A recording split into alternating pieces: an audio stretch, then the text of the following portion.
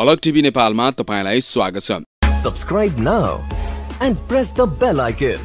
Never miss an update.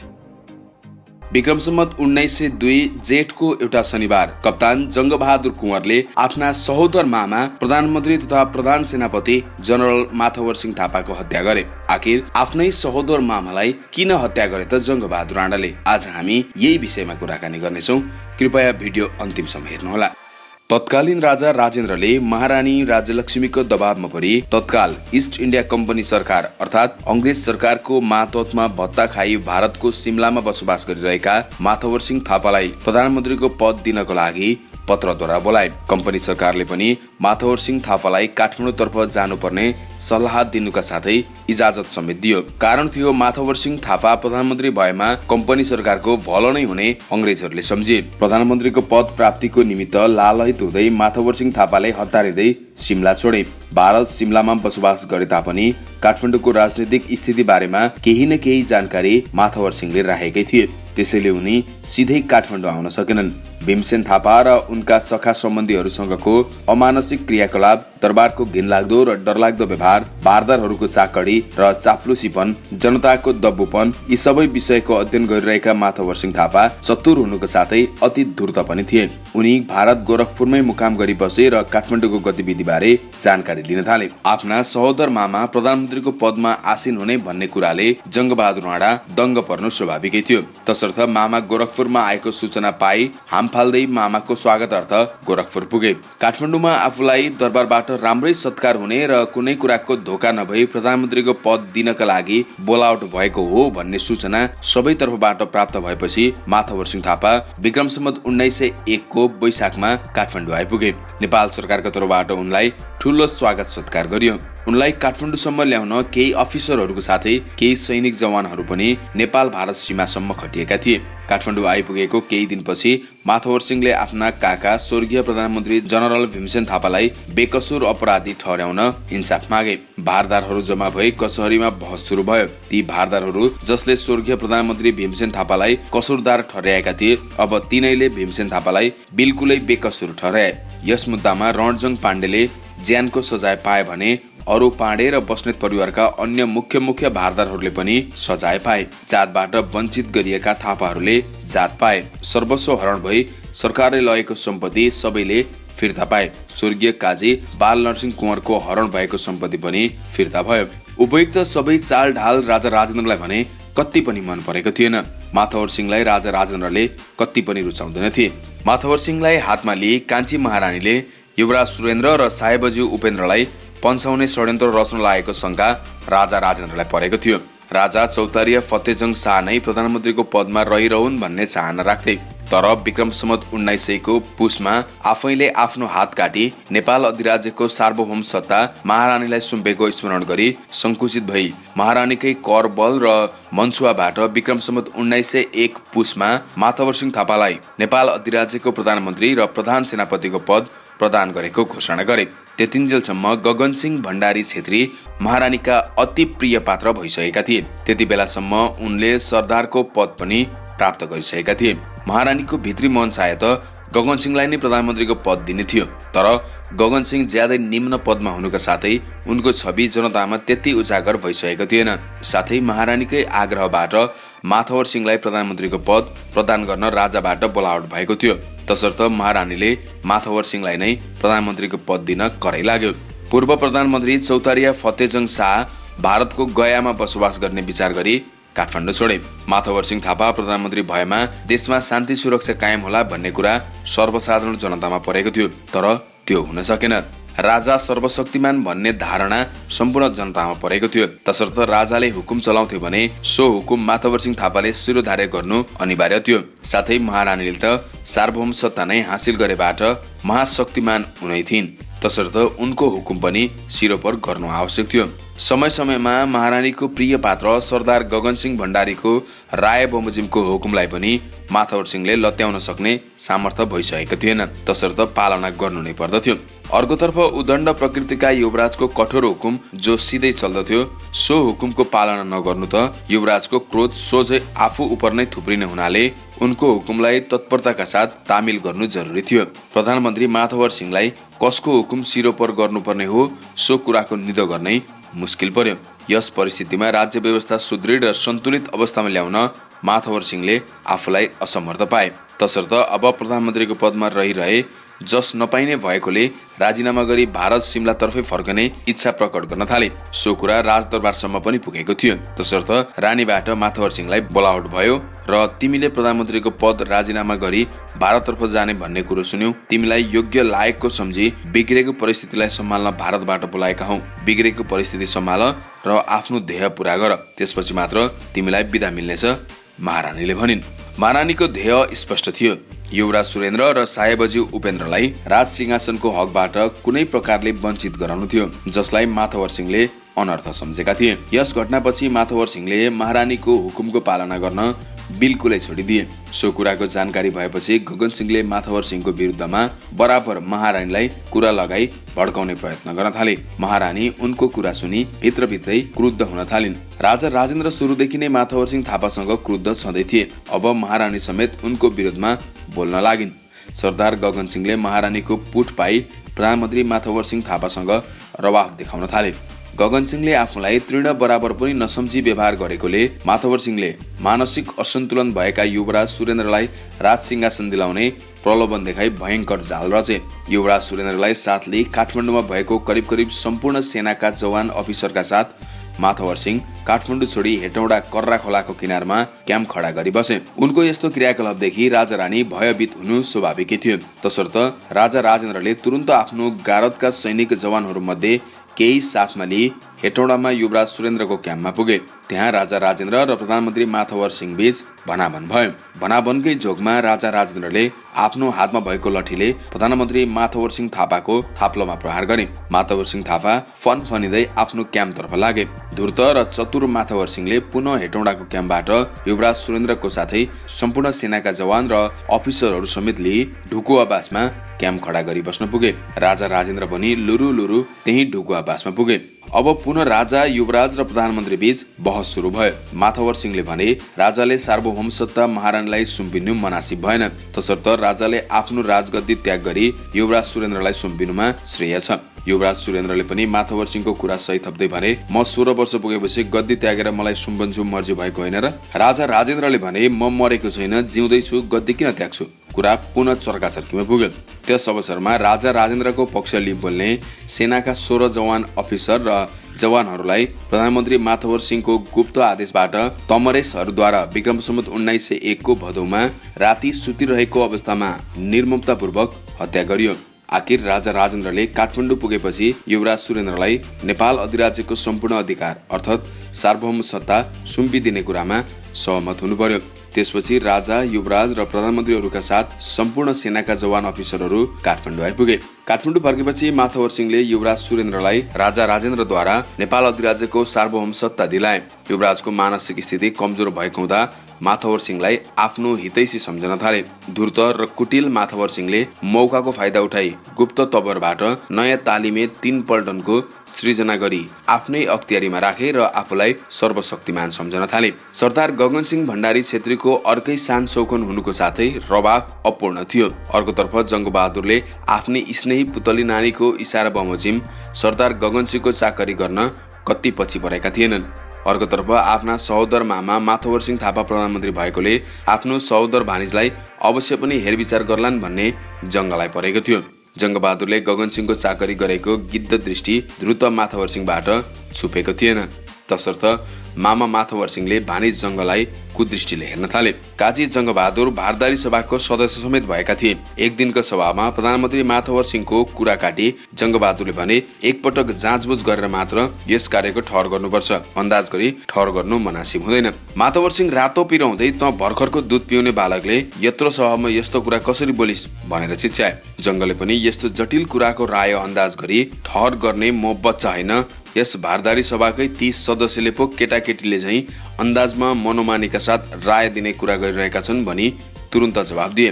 आखिर भारदारी सभाका अधिकांश सदस्यहरूले जङ्गकै राय मुताबिक एकपटक बुझबुझारत हुनुपर्ने ठहर गरे। यस घटनाको केही दिनमा नै मामा माथवर सिंहको अनेक जालझेल एवं कपटबाट युवराज सुरेन्द्रको लिखित आदेशले काजी जङ्गबहादुरलाई पुनः युवराजकै अङ्गरक्षक कप्तानी पदमा सरुवा गरियो। उपरोक्त कार्य जङ्गका आफ्नै मामा माथवर सिंहले गराएको कुरा सबैले बुझेका थिए। राजदरबारकी एक शक्तिशाली सुसारे आफ्नो प्रेमी सुबेदारको लेफ्टिनेन्टको दर्जाको पदोन्नतिको लागि महारानीको लिखित प्रमाङ्गी पत्र बनाउन लगाइन्। सो लिखित प्रमाङ्गी पत्र ती सुसारेले पदोन्नति हुने आफ्ना प्रेमी सुबेदारलाई दिइन्। सुबेदारले सो पत्र खोसुवा हुने तत्काल बहालवाला लेफ्टिनेन्ट देवी बहादुर कुँवरलाई देखाए देवी बहादुर कुँवरले सो महारानीको लिखित प्रमाङ्गी पत्रलाई मन्जुरी नदेखाएको हुँदा दुवैजना प्रधानमन्त्री माथवर सिंहको कचहरीमा उपस्थित भई आफ्नो बयान दाखिला गरे। माथवर सिंहले महारानीको लिखित प्रमाङ्गी ल्याएकोले सुबेदारलाई नै लेफ्टिनेन्टको पदमा पदोन्नति गरी बानिज लेफ्टिनेन्ट देवी बहादुर कुँवरलाई बर्खास्त गरे। यसै जोगमा देवी बहादुरले महारानी र सरदार गगन सिंह बीच अनैतिक सम्बन्ध भएको विषयलाई लिएर केही अपशब्द बोलेका कारण महारानी क्रोधित भई देवी बहादुरलाई मृत्युदण्डको सजाय सुनाए। देवी बहादुर शोभा भगवती नजिक भाता खुसीमा काटिने भए। आफ्नो काकाको छोरो दाजु देवी बहादुरलाई जोगाउन कप्तान जङ्ग बहादुरले आफूलाई असमर्थ पाए। तैपनि उपाय त गर्नु पर्यो भनी मामा माथवर सिंह कहाँ गई केही झोकिए चाहिँ गरी दिगदारी समेत देखाई भने मेरो बेकसुर दाजी हजुरको पनि भानिजले यत्रो मृत्युदण्डको सजाय पाउँदा पनि हजुरबाट उनलाई जोगाउने उपाय गर्नुभएको छैन। हजुरको इच्छा भए अझै पनि जोगाउन सक्नुहुन्छ।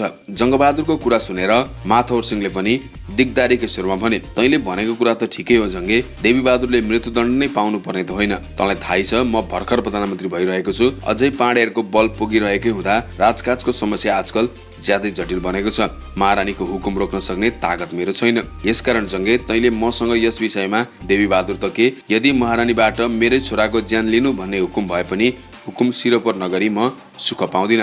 उहाँको इच्छा रोक्न सक्ने मेरो तागत छैन। जङ्गले पनि जिद्दी गरे भने राजा रानीको कुनै भुल भएमा उहाँहरूलाई सम्झाइ बुझाइ सुधार गर्नुपर्ने हजुर प्रधानमन्त्रीको कर्तव्य हो। त्यस्तो घोर अन्यायमा मतलबी भनेर हात मात्र जोडेर केही नबोल्नु हजुरको धर्म होइन।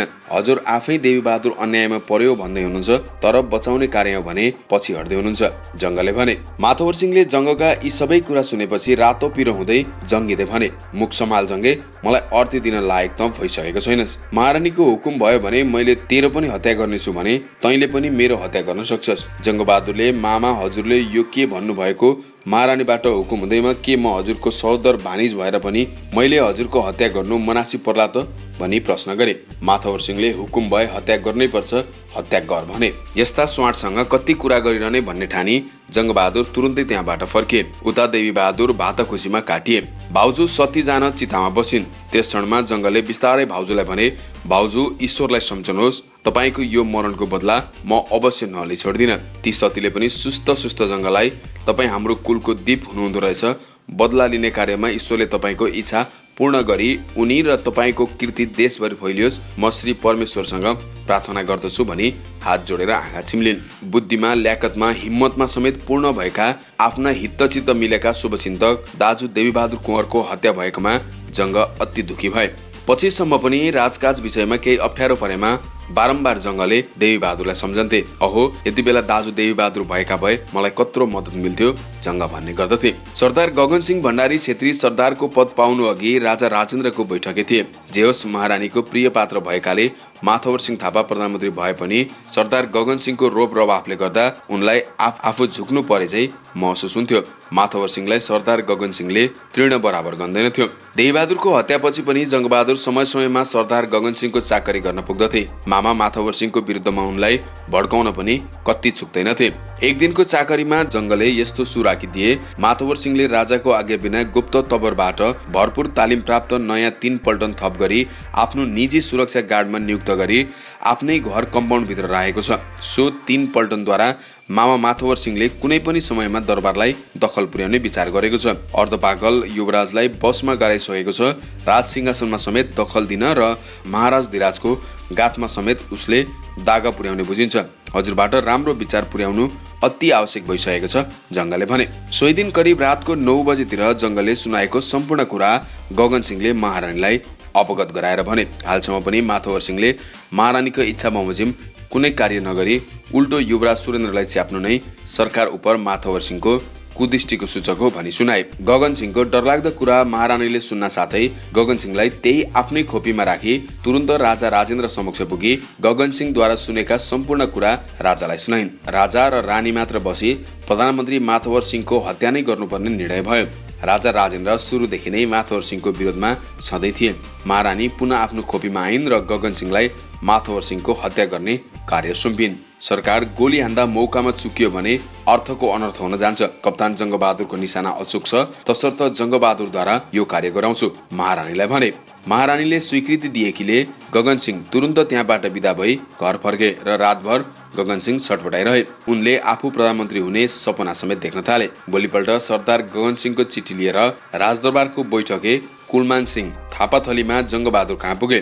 कुलमान सिंहले मुसुक हाँसी गगन सिंहले लेखेको चिठी जङ्गलाई थमाइदिए। चिठी हेरी पढी खुबै आत्तिँदै कुलमान सिंहलाई तपाईँ बिस्तारै दरबारतर्फ लाग्नुहोला म घोडा चढी त्यतै जान्छु भने। गगन सिंह खुबै बेचैनीका साथ राजदरबारको ढोकामा जङ्गलाई पर्खिरहेका थिए। जङ्ग राजदरबारको ढोकामा पुग्न साथ गगन सिंहले उनलाई दरबारभित्र एउटा सानो एकान्तको कोठामा लगिराखे र आफू महारानीलाई सूचना गर्न गए। केही बेरमा नै गगन सिंह फर्केर आई जङ्गलाई समेत साथमा लिई महारानीको खोपीतर्फ उक्लिए। खोपीभित्र दुवै गगन सिंहले ढोका बन्द गरे। जङ्गले चाहिँ महारानीलाई झुकी झुकी अभिवादन गरे। साथै डर र त्रास लिएर जङ्गले महारानीको कुरा सुन्न थाले। महारानीले पनि सुस्त सुस्त र पुरा विश्वासका साथ जङ्गलाई भनिन् मैले भनिरहनु पर्ने त होइन जङ्गे तँलाई पनि थाहा नै होला। माथवर सिंहले आफ्नो स्वार्थको निमित्त हामी बाबु आमा छोराहरूमा फाटो पार्न लागिरहेको छ। माथवरको मुख्य इच्छा हामीहरू सबै राजवंशकै निर्मूल पारेर आफूले गद्दी हात पार्न लागेको स्पष्टै छ।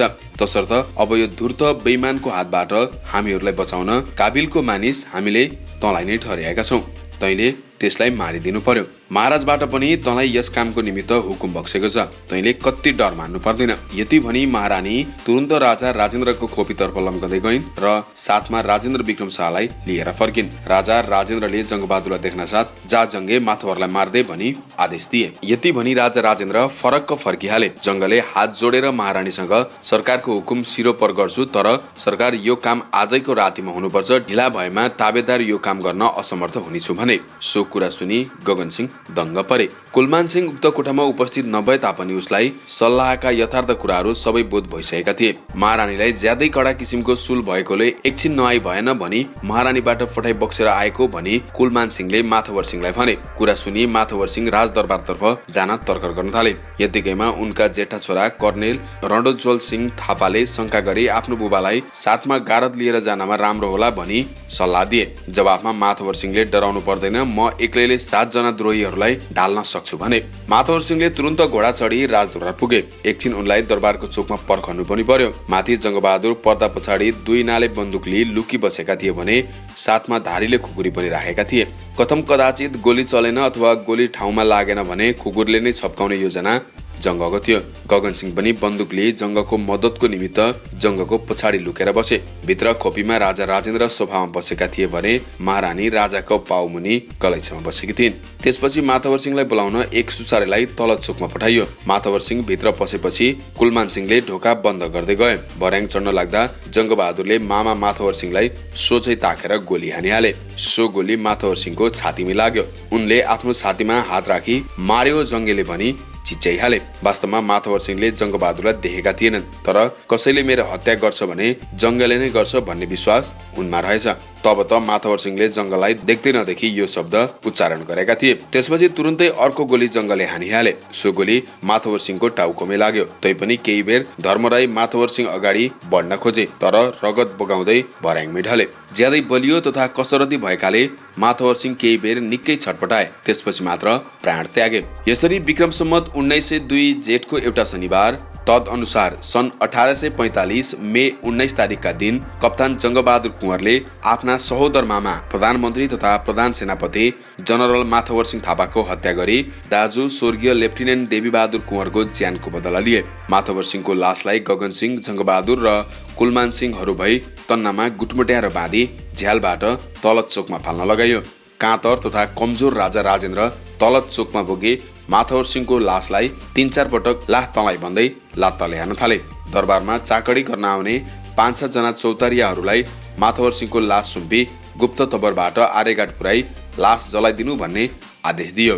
राजदरबार वरिपरि थप सैनिकको व्यवस्था गरियो भने चार दिनसम्म हनुमान ढोका राजदरबार नजिक चारैतिर कर्फ्यू लगाइयो। राजदरबारबाट जङ्गबहादुर थापातली स्थित घरमा फर्कन साथै आफ्ना कुँवर दाजुभाइहरूलाई एकत्र गरी माथवर सिंहको हत्याकाण्डको विषयमा यथार्थ सुनाएर सतर्कता अपनाउनको निमित्त जङ्गले आदेश दिए। केही बेरमै माथवर सिंहका जेठा छोरा कर्णेल रणजोल सिंह थापा आत्तिँदै आफ्ना बुबा माथवर सिंहको दरबारमा हत्या भएको सूचना गर्दै अब के कसो गर्ने भनी जङ्गबहादुर र उनका भाइहरूसँग सल्लाह माग्न थाले। जङ्ग र उनका भाइहरूले पनि हत्याको विषयमा अनभिज्ञता दर्शाई मामाको छोरा तथा भाइको बचाउको निमित्त बोक्न सक्ने सम्मको चल सम्पत्ति लिएर मुगलान अर्थात् भारत जाने सल्लाह दिए।